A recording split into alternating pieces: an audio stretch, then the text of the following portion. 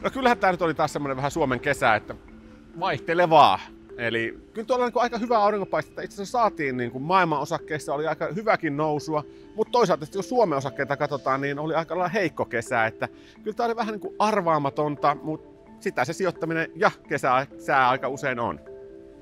No kyllä meillä varmasti kyllä puhe, puhuttavaa riittää täällä näin. Noin korot on varmasti se iso kysymys, että mihin ne korot menee, miten talous sopeutuu tähän uuteen korkeampaan korkotasoon tässä näin. Mitä tapahtuu taloudelle? Työllisyys on varmasti aika iso, iso kysymys, että niin kauan kuin ihmisillä töitä riittää, niin niin kauanhan meillä on ihan ok asiat.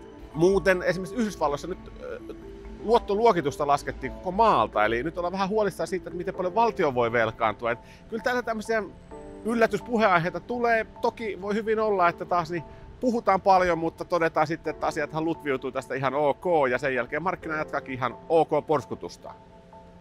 No sanotaan, että en mä mitään helppoja syysvoittoja tässä lähde lupailemaan. Eli kyllä tässä niin kuin haasteita riittää, mutta toisaalta niin kuin sanoin, niin jos haasteet voitetaan, niin kyllä se pärjätään tässä varsinkin avain on se hajauttaminen. Et hyvähän tässä on nyt se, että koroistakin saadaan tuottoa. Et älkää jättäkö niitä rahoja nyt sinne käyttötilille nollakorkona makaamaan, laittakaa ne määräaikaista aletuksiin, laittakaa ne korkorahastoihin niin kuin korkopuolella ja osakepuolella.